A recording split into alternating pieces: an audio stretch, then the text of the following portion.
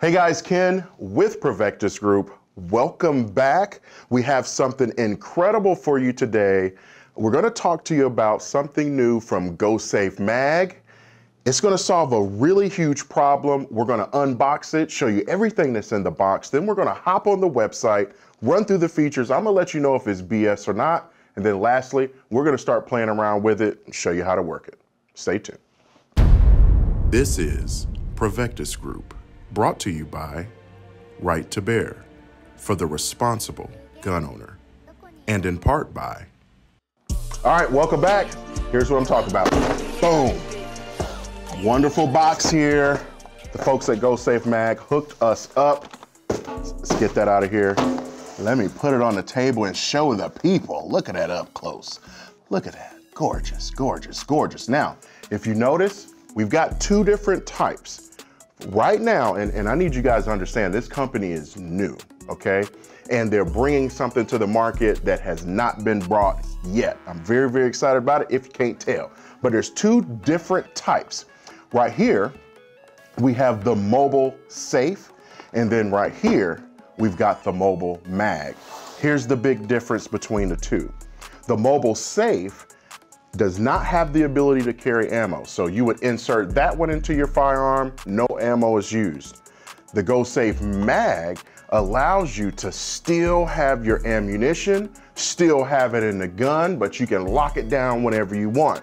We've all seen the videos online, the news footage of somebody that has a firearm, they leave it in the car, a child or another person gets a hold to it, and then boom. Right now, a four-year-old child is in critical condition after he got hold of a gun and shot himself. Tragedy strikes, it's all over the news. It's horrible. This is actually something that can prevent that. Seriously, this could do it. Let's jump in. Which one you want to start with, Jay? Mobile mag or the mobile safe? Let's do the mobile mag. So here we go. Mobile mag, let's unbox it. We're gonna pull this out like this. Looks like you have, this is a manual. And this is my first time unboxing this. I've had these for a couple months and I've literally not opened them, so it's a true unboxing. So yes, this is my first time doing it, yes. Instruction manual is gonna be on the top. Then you want to open up this plastic here, and then that is where you're gonna see your mobile mag. Looks just like any other magazine you've ever seen. Jay, get in here and get a close up of that. Look at that. Looks very nice. It looks very similar to what you've seen you know, again, this goes in a Glock, so it's gonna look similar. Still have your markings on the back, so you know how many rounds you have. Like it, for the most part, I mean, it kind of looks like a Glock mag a little bit, right? But up here, you can tell something else is going on here. And if I'm not mistaken, this metal piece right here is what's gonna lock down your trigger and that's how you lock it. So let's see what happens. This is my first time doing it. They told me it was a special way to do it, but uh, you know, we don't read directions, you know. so let me see this. I see two markings down here. Get in close on this, Jay. It looks like if you turn it here, it's safe. And if you turn it here, it's on fire. Ooh, ooh, there it goes, there it goes. So now watch this, because I felt it in my hand. When I twisted the key, I felt this kick out. You guys ready? Show America. There it is. Watch this come out. See that? That right there. This is the, so this little thing you see right here, popping out the front, bloop, bloop, bloop. That's what locks your trigger down. So here's what's awesome. I believe on the Go Safe mag, when you lock this, okay, so right now it's on safe. That means that the magazine cannot be pulled out and the trigger cannot be pressed. So let's, let's see. Actually, told you I was gonna run through the features. So let's run through those features real quick. Let's bring in the iPad. Okay, 10 round capacity. Um, I do wish that it still could hold 15, but 10 is still cool. Again, this is a brand new item to the market. I've never seen anything like that. The fact that we can still carry 10 is cool. Next thing, prevents firing even with a round in the chamber when locked. I already explained that. You can lock it on the bottom. The mag can't come out, the trigger can't be pressed, but you can still rack the slide. Next, cannot be removed from the firearm while locked. Already talked about that. I think that's dope. Next, can switch to the OEM mag in seconds. So that's pretty nice as well, especially if you're using the other one that's the mag safe and that does not carry any rounds. Uh, next, includes unique to user high security key. so that was probably my number one concern when I realized you could use a key to unlock this. Number one thing is, well, how many more keys do they have just like this? You know, and, and if somebody else has a Go Safe Mag, can they just use their key to get in mine? Now, although that's a concern, let's really be realistic about this and let's think about what's most likely to happen. What's most likely to happen is if somebody's trying to break into your car and steal your firearm or steal your gun in general, there's a really good chance they probably don't have a Go Safe mag and they're probably not going to have the key. So I wouldn't really worry about that. All right, next, cam lock lock included for the highest level of protection and security and quality compatible with all holsters. That's a big deal. A lot of times when we're adding parts to our firearm that's going to increase the safety or anything like that, sometimes it's going to prevent us from using the fire or using the firearm, using the holsters and stuff that we like. So it's really good that we don't have to modify anything, the firearm or any supporting uh, accessories as well, like holsters. Compatible with Glock 17, 17L, 19X, 34, and 45 compatible with Glock 19. Additional models coming soon, like Smith & Wesson and SIG. So for all my Smith and, uh, Smith & Wesson and SIG guys out there, guys and gals, don't worry, it's around the corner. This one right here is for 19. Let me make sure I'm not missing anything else. Let's see. I see some other stuff. Looks like there's a lanyard you could get to attach to your key. That was another thing I was thinking about. Dang, now I gotta have my key somewhere. You can have a lanyard so you can have it on you. Um, and then they've got another accessory. It looks like a Go Safe key holder. And uh, maybe this goes on the back of your phone or something like that, so you always have it. So, enough of that.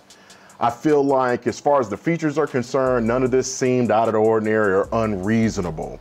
Um, and uh, the reviews are very good. So let's move on. Let's actually see can it fit in the gun? I've got a Glock 19 here.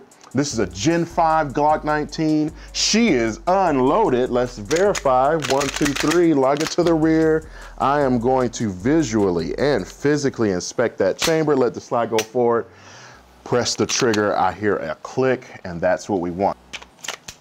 Okay, so what I do like about it already is that I have an aftermarket magazine well and it still fits without a problem. So for the folks out there to have mag wells on your on your pistols, maybe you don't have to worry about it. Definitely still look into it, but being that the locking mechanism was on the bottom and this shape is very similar to a standard magazine base pad, but it is their proprietary base pad. Um, so it does still fit, it does still seat properly. I can still lock the slide to the rear, so that's good. So we're gonna let the slide go forward. We're gonna take this, right now it should be on fire, stick this in. When you push the key in, you wanna make sure you push all the way in until it seats. Then we're gonna turn to safe, pull it out. Now, I shouldn't be able to get the mag out. If you guys see, pushing the mag release. Eh, eh, eh,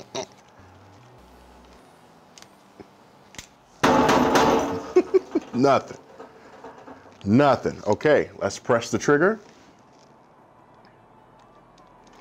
That trigger is hard. Like it's not budging at all. I don't know if you guys get a nice up close of that. It's not budging at all. So it locks the trigger down. There's zero play. I really like that. Let's rack the slide. It does rack the slide still, so it works as intended. Obviously, we're gonna take this to a range and do it live, but so far, so good. Now, let me unlock this thing. Remember the raised portion of the key? I want you to think of it as your indicator and you want it to point at either fire or safe. So we know that the gun uh, or the magazine was uh, turned to safe. So let's do that. We're gonna go here. Remember when you insert your key, push in all the way into its seats. We're gonna turn left to fire. Let's pull that key back out. Now, we should be able to take the mag out, which we can do, okay? We want to press the trigger. Let's see if that works now. Yes, works perfectly fine. So the other thing, when I'm looking at items like this, First thing that we want to know is, okay, does the item work? Does it function? Does it do exactly what it's supposed to do?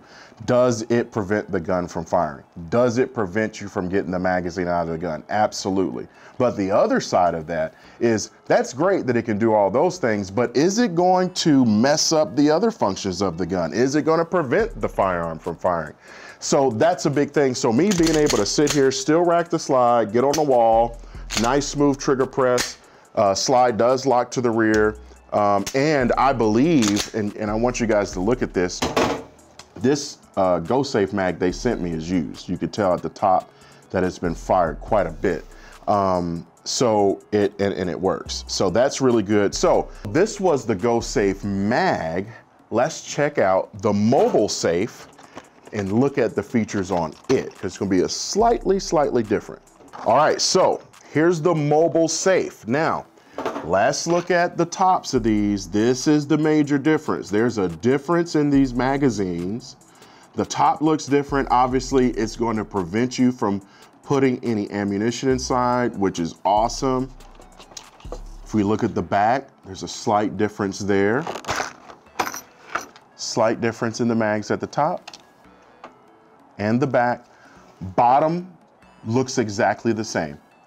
So whether you buy the mobile safe or the mobile mag, everything is pretty much the same. Both of these look like they'll work in the Glock 19. We're gonna put the mobile mag down. Let's try the mobile safe. We're gonna insert it into the same Gen 5 Glock 19. The Glock 19 is still unloaded. Now I've just inserted the mag, goes in very, very nice. Everything still works. Let's see. So it's on fire. This is the key that came out of that packaging. I'm gonna insert it. Make sure you push all the way into its seats and I'm gonna turn to safe, which is the white dot. Pull it out. I should not be able to get this magazine out. Nothing.